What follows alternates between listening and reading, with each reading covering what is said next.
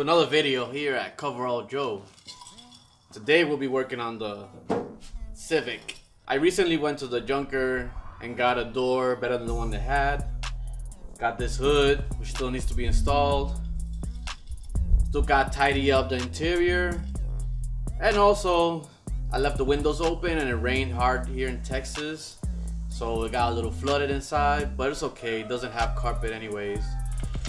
And because of that, I decided to go ahead and dry it up, clean it up, prep it, sand it, and throw some paint on it with some textured bed liner to give it that nice clean look without carpet. So let's try it out. Also got a few things to button up on the exterior, like the side skirts are falling off, the front lip came off as well. So stick around.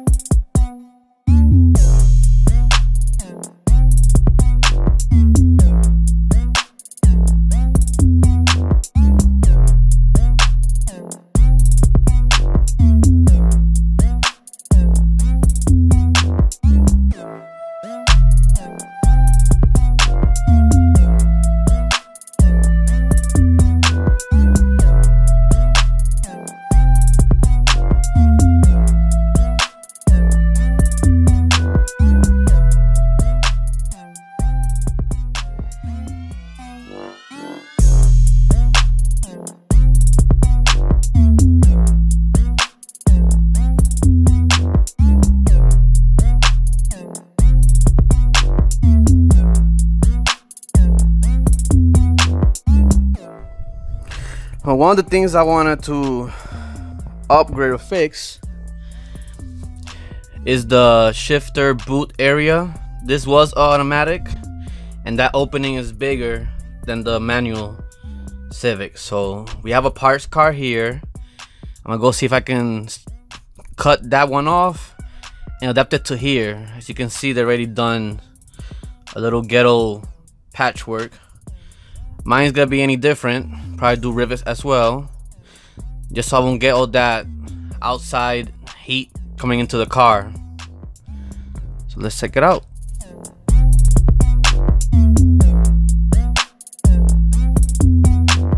It's pretty convenient when you have a parts car. You got one back here in the the boneyard. Let's go ahead and try to cut off the shifter area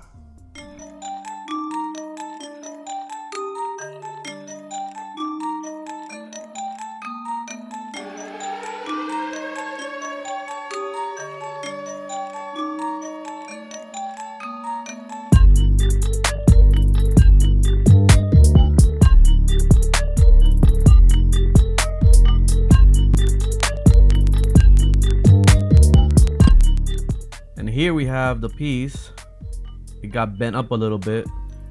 I have to give it form so it fits the tunnel better.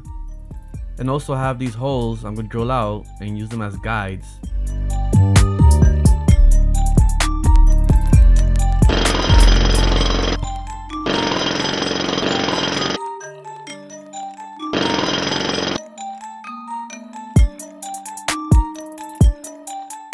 Here you can see the holes I'm gonna drill. And that should line up with the factory holes on this car. So I can use them to align it bolt down and rivet. Making the holes to align. Using a step drill make it a little bigger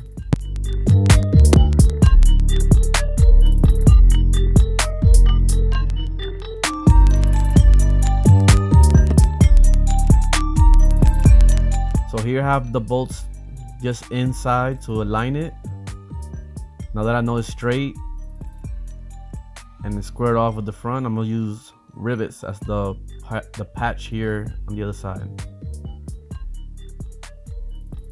Now I'm gonna grind off the lip that the factory tunnel has just so it lays flat and to avoid any fumes or heat coming through I'm use some of this uh, gasket maker and these self-tapping screws to hold it in place while I drill and rivet the piece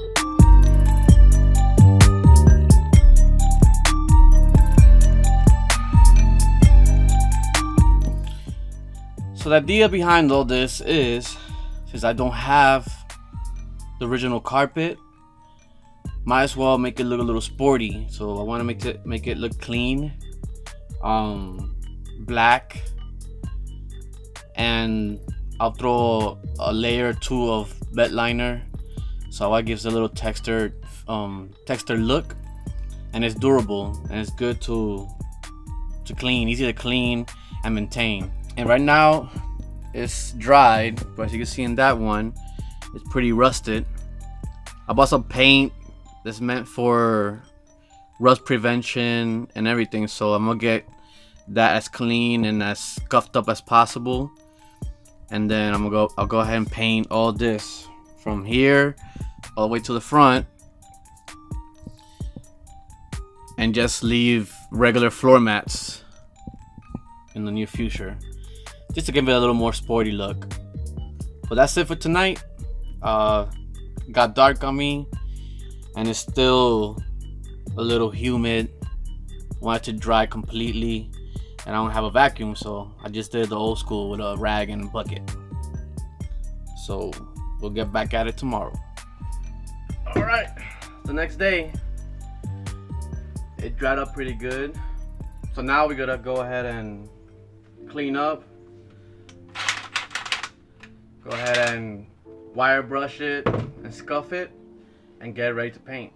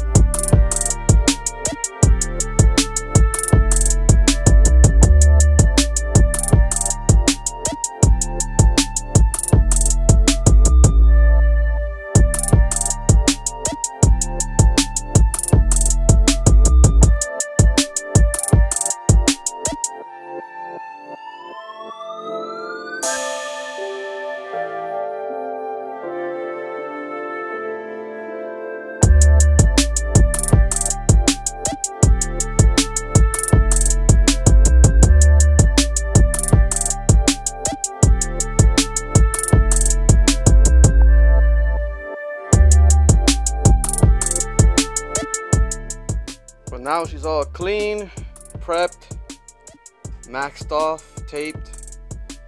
I put a little bit of a plastic covering on the dash and the glass to avoid any major overspray. Now let's get ready to prime and paint and bedline it. All right, so we're ready to paint. Got my direct to metal primer, bed liner, and black rust protection paint. And since there was rust, I'm gonna go ahead and hit it with the rust protector. Just like a primer, fast drying. And then we got the bed liner product, which will give it that nice texture look and protection. Then I'll hit it with a little of the satin black rust protector. Oh, safety first. Put on the mask, gloves, and let's check the cans.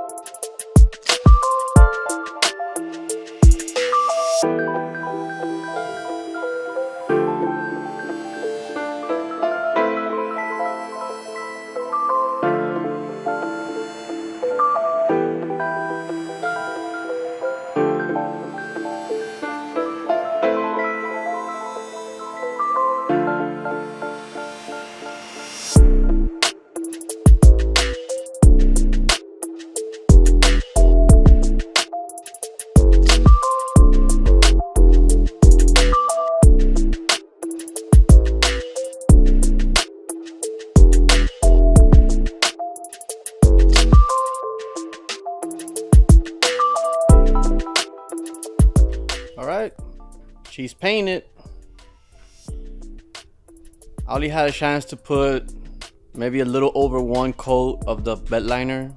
That really runs out quick. But I managed to get it textured and I just sprayed the rest with the black rust protector. It should be a satin black, so it might take a while before it dries up the final color. But I like it, it looks clean. Now all I gotta do is put some floor mats and that's pretty much it. Just keep it like that. Well, with that's drying, let's go ahead and fix this. Just to kill some time while the paint dries.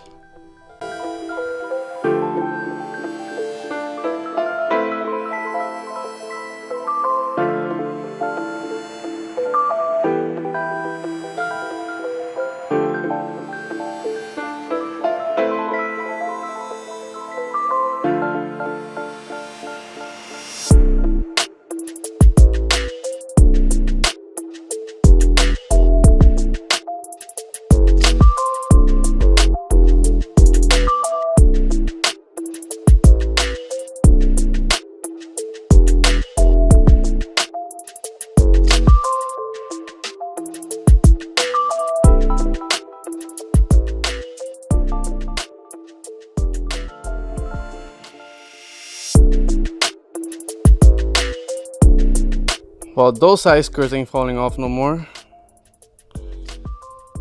Missing a few clips, but I used the one I got and I used some tapping in the bottom to hold them together. They ain't going nowhere. Same with the front lip.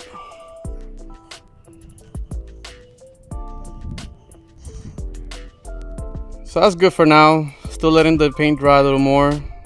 Gonna go have some lunch.